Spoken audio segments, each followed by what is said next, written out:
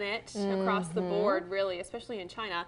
We're reviewing Aquaman. Yes. Aquaman over two hundred million dollars in China, insane. which is Oh amazing gosh. and very quickly. Yeah. So Yeah. Mm-hmm. it's definitely going to break records, and um, it's going to do really well in the United States and amazingly around the world. Yeah. Right. It's a fun movie.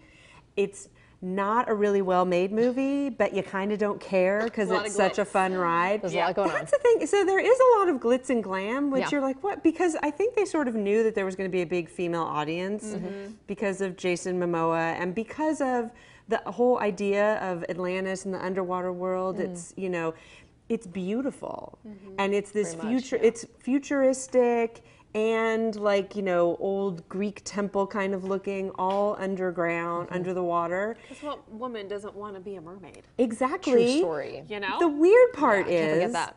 they hired the director and the writers are former horror movie people. yeah, I read that. Mm-hmm. And the director did an amazing job of making it this ride where you feel like you are diving under the water and sort of like when you first saw Star Wars and you felt like you were, you know, in the you're like, "Oh, Yeah. I'm turning, In the I'm other whooshing and. Right. swishing and actually in it." But with glittery, sparkly and dolphins and turtles as mules and you All know, the so it's magic. all sweet and magic. And then we come to the surface and it's like, you know, comic book robot dialogue mm. and violence. And you're Yeah. like, what? And then you go back down again and you're like, oh, we're back into this beautiful wonderland. So James Wan, who directed it, who Yeah. was born in Malaysia and he's Australian, did an amazing job. I wish that he had worked with other people for the script mm-hmm. because the script didn't match with the subject and the so they sort of I read that Jason Momoa said that um, that the director said that he when they knew they cast Jason Momoa they wrote for him and I feel like they didn't give him enough credit because they made him very Yeah. one note and not smart.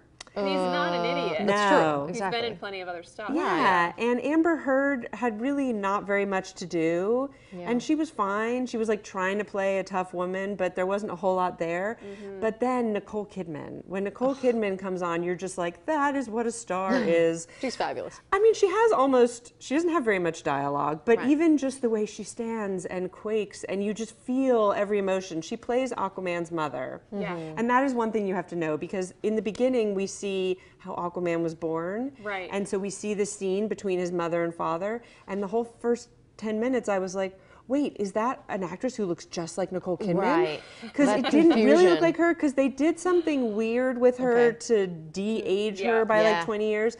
So just so you know, it is Nicole Kidman. So stop asking yourself and just go with it. And There go. she's fabulous and amazing. But I wish that they had gotten writers who would have that magical, mystical, sweet Mm. beautifulness that we saw underwater. I feel like all the animators got it.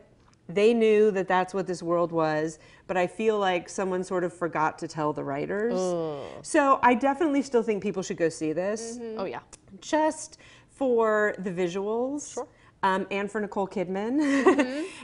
and I think that this is a movie that I am going to play on my TV for years to come, like in the background, fast forwarding through the fight scenes, just like just like on a loop for the beautiful underwater. You know, it's very futuristic. Yeah. Yeah. It's like I want little castles of these futuristic lands. I want them to make rides at all the amusement park with this, you know? Right. Who knows? Who knows? Who knows? So I'm, I'm hoping that they will have that. Yeah. Um, and it was lots of different animation companies that worked on it, and Mm. they did. It, it felt like a unified piece. Very So cool. that part of it was beautiful, and you definitely want to see it on the big screen, Right. To be able to get the, whole whooshing and swooshing in the ride, Yeah. yeah.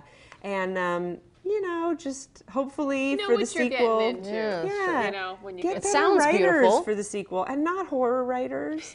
It feels like the director was able to surpass that, but the writers were not. Got it. You know, they were sort of stuck sense. in that. All so. right. You can You be heard the it. judge, but it sounds like it's worthy of the It's worth it. We'll be Definitely. back.